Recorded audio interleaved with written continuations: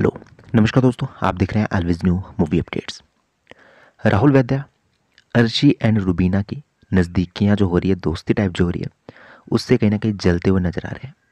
घर के अंदर एक साइकिल वाला टास्क हुआ, जहाँ पे रुबीना की टीम में थी अर्शी खान।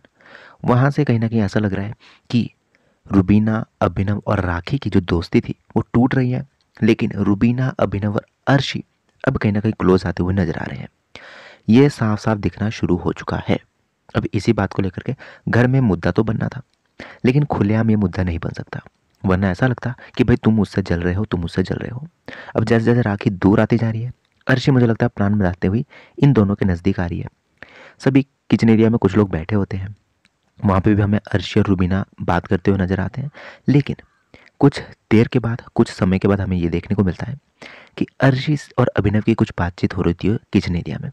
जब ये दोनों अकेले हैं, वहाँ पे रुबीना नहीं है और कोई भी नहीं है तो कहीं ना कहीं पहले अर्शी शुरू करती है कि भाई अब कैसी कैसी टीम चलेगी, कौन कहाँ चलेगा क्या क्या प्लानिंग बनेगी।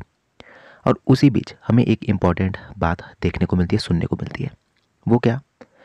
यहाँ पे कहीं ना कहीं कहते हुए राहुल वैद्य नज़र आते हैं कि भाई तुम्हारा क्या चल रहा है? तुम्हारी काफ़ी नज़दीकियाँ दोस्ती बन रही है रुबीना के साथ। तो कहीं अब तुम उस तरफ़ पलटने वाली हो, यानी कि तुम उस तरफ़ जाने वाली हो तो कहीं ना कहीं इस बात पे मुस्कुराती हुई हंसती हुई नज़र आती है अर्शी खान।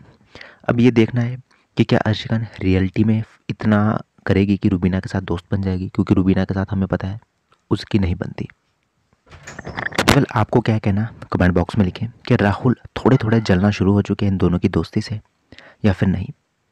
जो भी कहना कमेंट बॉक्स में लिखें, लेकिन ये बात ज़रूर है कि राहुल और अर्शी की ये बात ज़रूर हो रही है कि भाई, अर्शी, तुम्हारी दोस्तियाँ बढ़ रही है। तुम किस तरफ़ को जा रही हो? उस टीम में हो या इस टीम में हो? ये सारी बातें। सब्सक्राइब करें लेटेस्ट अपडेट जानने के लिए।